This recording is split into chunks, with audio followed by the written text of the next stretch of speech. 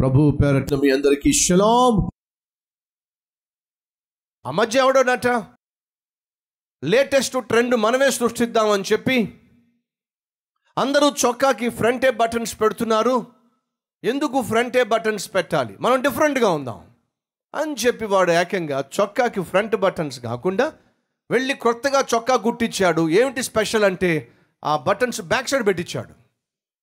ఏంట్రా అంటే ఫ్యాషన్ అంట. ఇది లేటెస్ట్ ట్రెండ్ అంట. సో ఇప్పుడు ఫ్రంట్ కాదు బటన్స్ వాడి చొక్కాకి ఎక్కడ? వెనకట. వీడు చక్కగా కొత్త ట్రెండ్ అని చెప్పి కొత్త చొక్కా వేసుకుని వెనక బటన్స్ పెట్టుకొని బైక్ మీద కూర్చుని జోష్గా వెళ్తున్నాడు ఎదురుగుండా లారీ వచ్చి గుద్దేసింది. యాక్సిడెంట్లో మనవాడు రక్తపు మడుగులో పడిపోయి ఉన్నాడు. ఎవరూ లేరు కనీసం వాడిని పట్టించుకోవడానికి డ్రైవర్ ఏమో పారిపోయాడు. ఒక పెద్ద ఆయన గబగబా వెళ్ళేసరికి ఆ రక్తపు మడుగులో వీడు పడిపోయి ఉన్నాడు. ఈ తాతకి ఏం అర్థం కాల? మన తాతకు తెలిసిందేమిటి ఫేస్ ఎటువైపు ఉంటుందో బటన్స్ అటువైపు ఉంటాయి. కానీ ఆ కుర్రవాడు పరిస్థితి ఏమిటి? చొక్కా బటన్స్ ఏమో ఒకవైపు ఉన్నాయి ఫేస్ ఏమో మరొక వైపు ఉంది. ఆ తాతయ్యకి అర్థమైంది ఏమిటి? ఓరి ఓరి ఓరి ఓరి ఓరి మనవడా ఈ యాక్సిడెంట్లో నీ మెడ పూర్తిగా వెనక్కి తిరిగిపోయిందా?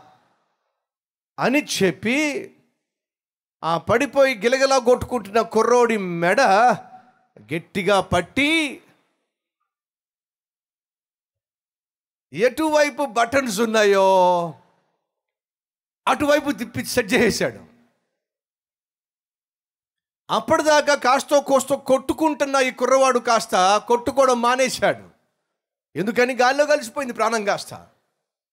ఆ తాతయ్యకి ఏం అర్థం కాల ఇదేమిటి? వీడి మెడ సెట్ చేస్తే వీడు కాస్త కోలుకోవాలి కదా ఉన్న ప్రాణం కాస్త పోయిందేమిటి అని మరలా పరిశీలన చేస్తే కాళ్ళు ఏమో రివర్స్ ఉన్నాయి ముఖమేమో ఇటైపోయింది. ఓరి ఓరి ప్రమాదం జరిగిపోయిందిరా. ఈ విషయం కాస్త బయట తెరిస్తే ప్రమాదం అని చెప్పి ఆయన జారుకున్నాడు. వీడి ప్రాణం పోవడానికి తెచ్చిన తంట ఎవరట? చొక్కా. ఏమిటట? లేటెస్ట్ ట్రెండ్ అంట. జాగ్రత్త. తమిళ్ళో ఎవరో ఒక తాతయ్య దొరుకుతాడు మనకి. లోకానుసారమైన ఈ ఫ్యాషన్స్ లోకానుసారమైనటువంటి ఈ కొత్త పోకడలు మనకు మంచిది కాదు క్షేమము కాదు. మన వస్త్రధారణ మనమేమిటో ఎంతో కొంత తెలియచేస్తుంది. వేష్యలను చూడండి వాళ్ళ వస్త్రధారణ చూడండి వాళ్ళు కావాలని చెప్పి ఆకర్షణీయంగా శరీరాన్ని కనిపించే విధంగా వస్త్రాలు ధరిస్తారు. వాళ్ళ వృత్తే అది. ఇతరులను ఆకర్షించాలి విటులను ఆకర్షించాలి. ఆ విధంగా ఆకర్షించడానికి వాళ్ళు వస్త్రధారణ ఎలా ఉంది చెప్పండి. చక్కగా మెడదాకా జాకెట్ వేసుకొని తలంతా చక్కగా ముసుగు వేసుకొని అసలు శరీర భాగమే కనిపించకుండా ఇలాంటి వాళ్ళు కనిపిస్తారంటారా? ఏమండి? వాళ్ళు చక్కని సాంప్రదాయం గలవారైతే ఆ విధంగా డ్రెస్ వేసుకుంటారు. చక్కగా వస్త్రం ధరించే వాళ్ళు ఆత్మీయత గలవాళ్ళు విలువలు కలవాళ్ళు. కానీ వీళ్ళు ఏం చేస్తారు? వారి అందాలను వారి శరీరాన్ని ఇతరులకు ఆకర్షణీయంగాను ఇతరులకు టెంప్టేషన్ పుట్టించే విధంగాను కనపరిచే విధంగా వస్త్రధారణ చేస్తూ ఉంటారు. వారి పనే అది. వాళ్ళు వస్త్రాలు తెలియచేస్తున్నాయి వాళ్ళ బుద్ధి ఏమిటో. కాబట్టి చెప్తున్నా. మనమేమిటో మన బుద్ధి ఏమిటో ఎంతో కొంత వస్త్రాలు తెలియచేస్తాయి కాబట్టి బహు జాగ్రత్తగా వస్త్రధారణ విషయంలో తల్లులు తండ్రులు బిడ్డలను జాగ్రత్తలు తీసుకునే బాధ్యత మీరు తీసుకోండి. మీ పిల్లలు ఏ బట్టలు పడితే ఆ బట్టలు కొనడానికి వీల్లేదు. ఎలాంటి బట్టలు వేసుకోవాలంటే అలాంటి బట్టలు వేసుకోవడానికి వీల్లేదు. వాళ్ళకి చిన్నప్పటి నుంచి మనం తెలియచేయాలి. ఏమిటి? మనం లోకానుసారులము కాదు. మనము దేవుని బిడ్డలము. జీవము కలిగిన దేవుణ్ణి ఈ లోకంలో కనపరిచే వాళ్ళము. ప్రత్యేకించబడిన వారము. మన జీవితము మన వస్త్రధారణ మన ప్రవర్తన మన దేవుణ్ణి సూచిస్తుంది ఆయనను మహిమపరుస్తుంది లేదా అవమానపరుస్తుంది అనే సత్యాన్ని మనం తెలియచేస్తున్నాం.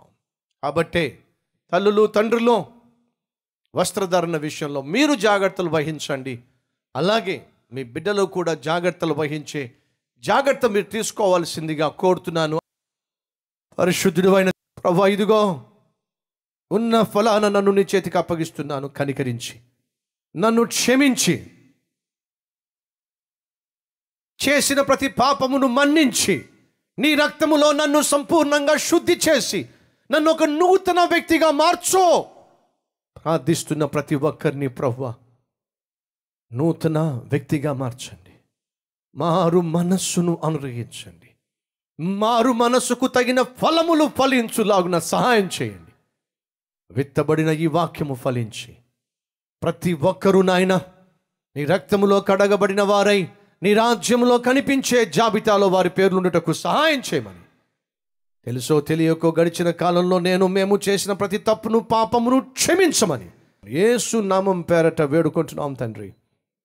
ఆమెన్.